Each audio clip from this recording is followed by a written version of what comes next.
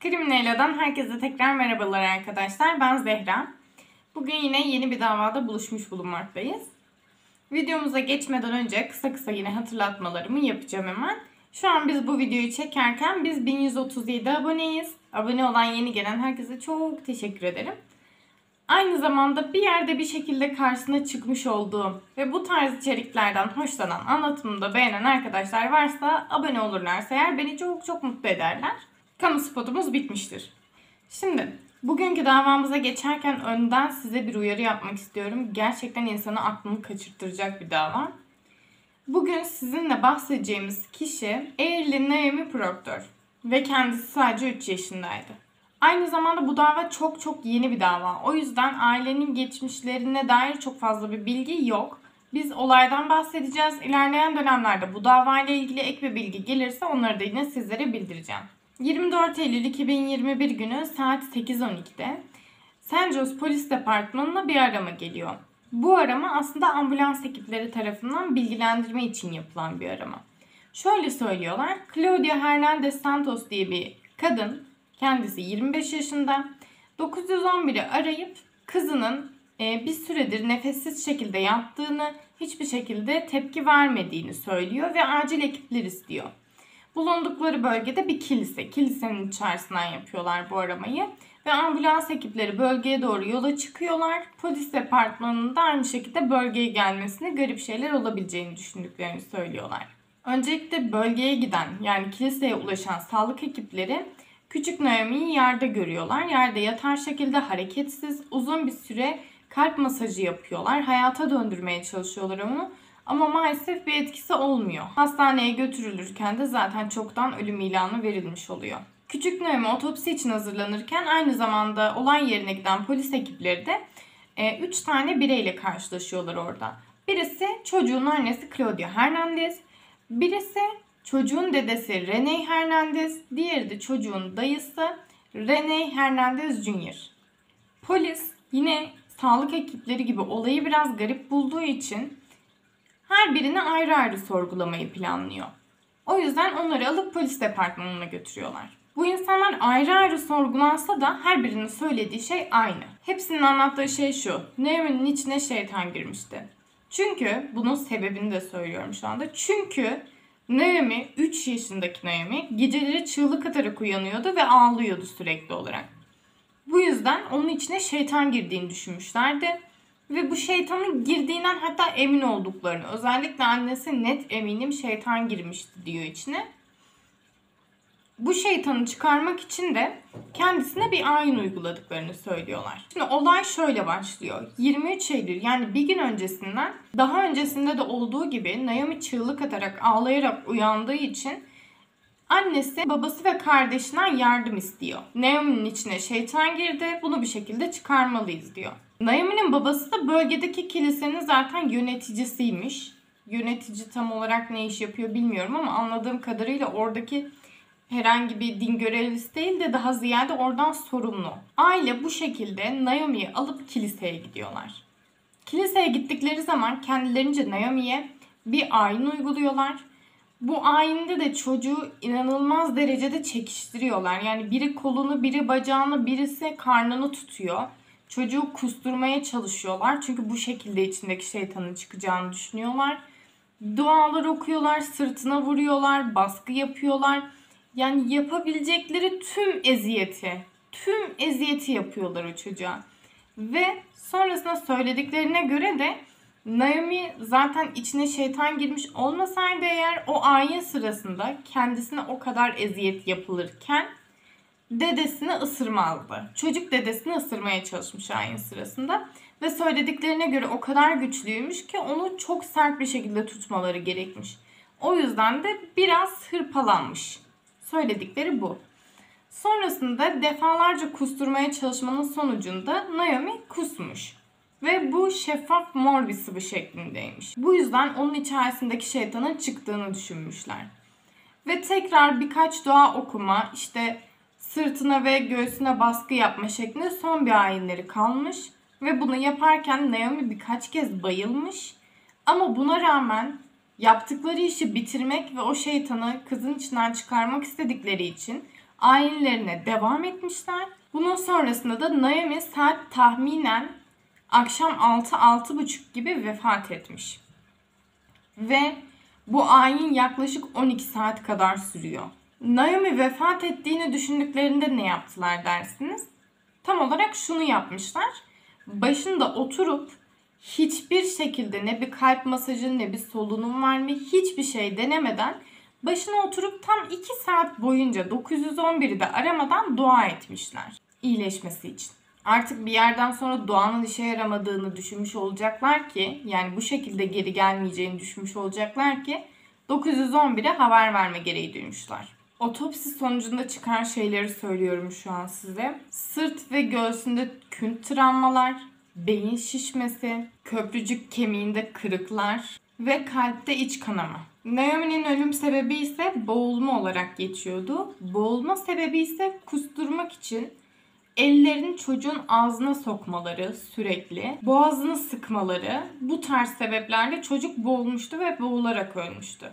Bu olaylar sonucunda ama maalesef hemen tutuklanmıyorlar. Belli bir süre dışarıda kalabiliyorlar. Ve bu dışarıda kaldıkları süreç içerisinde Naomi'nin annesi Claudia kendisine YouTube videosu çekiyor böyle YouTube'a video atıyor ve 45 dakikalık bir video bir arabanın içinde çekilmiş. Ve bu video içerisinde şunları söylüyor. Burada oturup üzülebilirim ama herhangi bir şey değiştirmeyecek. Vefat etmesi beni üzebilir ama bu onu geri getirmeyecek. Zaten bu olaydan sonra çevremdeki insanlar, yakınlarım bana sırtını döndü. Hiç kimse bana iyi davranmadı. Benim yapabileceğim bir şey yok. Tanrı her şeyi biliyor zaten ve bunları anlatış tarzı o kadar rahat ki. Yani bunları söylerken çocuğu vefat etmiş. Bu arada çocuğunun ölmesinden de maksimum 1-2 ay sonra olan bir video konuşması. Sen ne ara onun acısını anlat, atlattın. Gözünden bir damla yaş düşmüyor kadının. Böyle gayet sakin bir şekilde kameraya bakıp boş boş anlatıyor. Hiçbir şey yapmıyor. Hiç üzülmüyor. Yani yüzünden o kadar belli ki üzülmediği. and I don't know. I I I could sit here and be negative about the thing, like oh, like I wish I could go back and this and this and that. But it's like there is no point of me doing that, you know, because I cannot change what is. You know, it is what it is. So I, I've learned to think positive, you know, because it's it's it's many reasons why God took her, you know. And I sit here and I think like, oh, what if if something would have happened to her you know what if she would have had like a sickness or or like what if something would have happened to her or like i don't know it's, it's a lot you know and and and at the same time like i i don't know like eh, like like I told you guys, like I I can see here and be negative, but as like and be negative, like oh not being negative, but like be sad about that whole situation that she passed away. But it's like there's no point, you know, because it is what it is. It is what it is. You know, she's not here with me. It is what it is, you know. And um, and it's like, what's the point? You know, I'm just gonna be getting myself, putting myself down when there's no point for me to do that. You know, like I cannot change the past, and and I, I gotta be positive about the situation. You know, like at least she's not suffering you know like in this world we suffer so much you know and, and especially nowadays like everything is just so bad like everything just going downhill you know and that's what i'm thankful for you know that she's not gonna grow up in that world like in the world that we live in you know even though there is a lot of positive things and i could say like oh i'm not gonna see her grow up this and that but like i told you like there's no point of me doing that you know because it is what it is it is what it is, you know.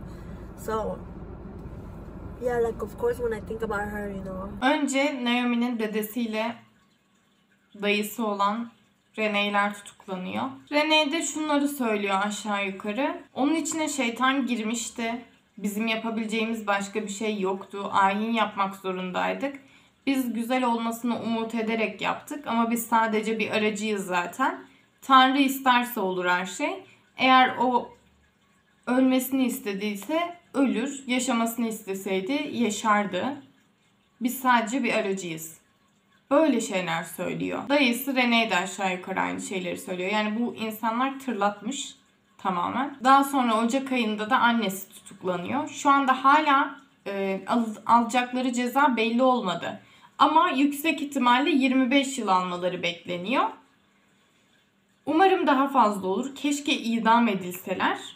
Ama henüz sonuçlanmadı dediğim gibi. Tutuklu yargılanma süreçleri devam ediyor şu anda. Eğer dediğim gibi bu video ile ilgili bir gelişme gelirse ben ekleme yapacağım buraya. Hatta tamamen bir şeyler netleşirse daha detaylı bir video çekeriz belki tekrar.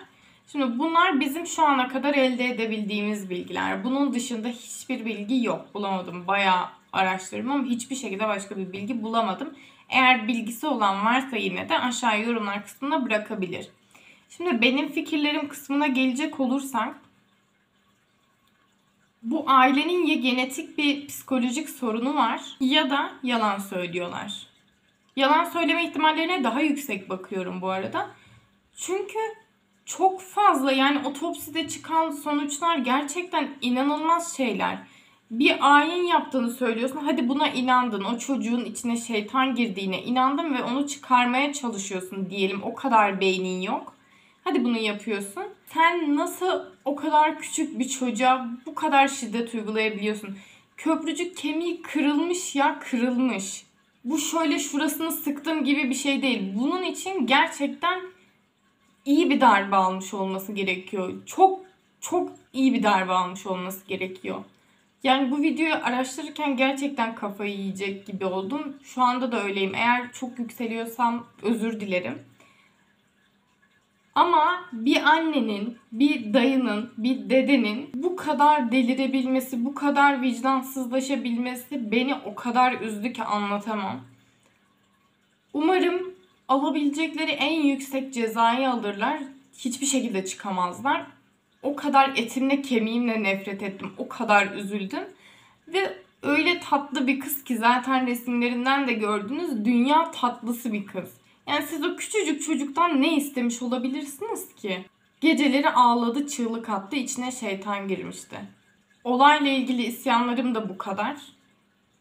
Onun dışında bir de temennim var. İnşallah ki bu ebeveynlik için ileride böyle tüm dünyada bir belge almak falan gerekir. Umarım böyle olur. Yoksa bu şekilde devam ettikçe biz maalesef ki böyle olaylar duymaya devam edeceğiz. Şimdi kendimi bir sakinleştirdim videonun kapanışını yapmak için öyle geldim. Umarım dünya bir gün çocukların yaşayabileceği güzel ve güvenli bir yer olur. Siz de lütfen kendinize çok çok dikkat edin. Bir sonraki videoda görüşmek üzere. Hoşçakalın.